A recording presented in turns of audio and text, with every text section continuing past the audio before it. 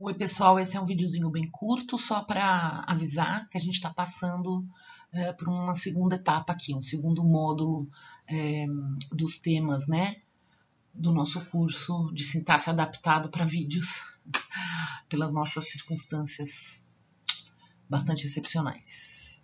Eu tenho só alguns recadinhos iniciais antes de entrar mesmo no assunto, tá bom? É para isso que escrevi esse videozinho curto.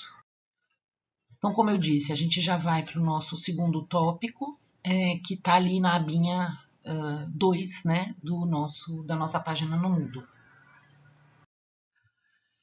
Então, nesse nosso segundo tema, é, o objetivo geral, como diz o nome, é uh, fazer um aprofundamento uh, na realidade dos mesmos conceitos que a gente explorou inicialmente no tema 1, um, só que agora com um aporte conceitual é, mais aprofundado, né, mais adequado.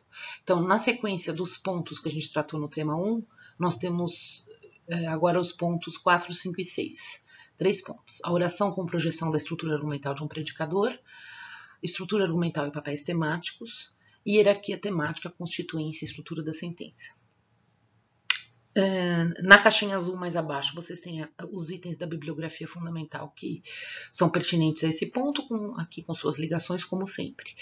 Queria chamar a atenção que ali estão vendo, eu tenho um resumo do tema 2.4, eu vou ser um pouquinho mais parcimoniosa dessa vez, porque agora eu acho que a gente vai poder continuar com mais calma o nosso sistema uh, excepcional de acompanhamento desse curso. Eu vou colocar não mais o tema inteiro, resumido de partida, mas ponto a ponto, tá? Então o que vocês têm agora lá é são um resumo do ponto 4.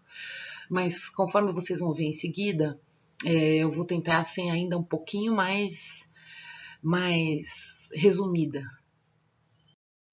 Então, gente, na tentativa de fazer um material mais digerível aqui do que o que eu fiz para o tópico 1, como um certo improviso, né?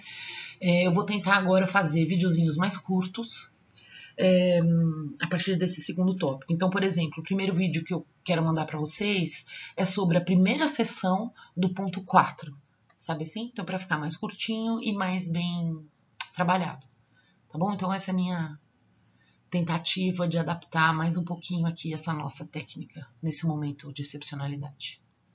Boa sorte!